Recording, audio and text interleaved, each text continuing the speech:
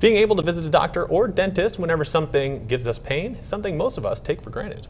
But not everyone has that kind of access to medical care. KREX5 reporter Ivan Fisher shows up a program bringing dental care straight to the people. That's right.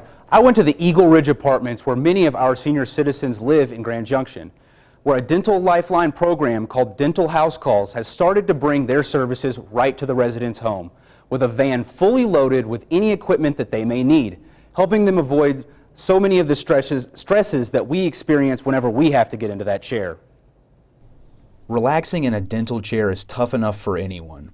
The stress can get even worse if you have to deal with Alzheimer's, dementia, or simply being confined to a chair of your own. Having them come here where we can take care of people in their home when, with people that they trust and care, um, we can provide the care that oftentimes they'll refuse.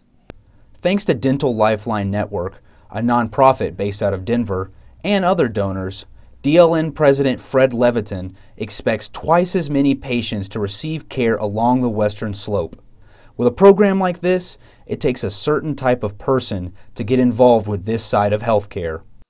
I want to be around the patients. It's, it's much more rewarding than being stuck behind a desk all day. Oral hygiene is not just about pretty teeth. It can lead to so much more. An infection can involve the entire body. But misfitting dentures or teeth pain can result in them not being able to eat. So, weight loss, which also involves the entire body. While seeing the dentist may never quite be a trip to the candy store, at least Eagle Ridge residents know they can enjoy a holiday treat right from the candy store. The Dental Lifeline Network has taken the first steps to making residents at ease in their home.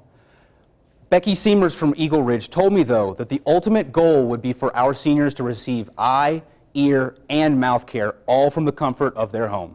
First on the Western Slope, I'm Ivan Fisher with KREX 5 News. Ivan, thank you very much.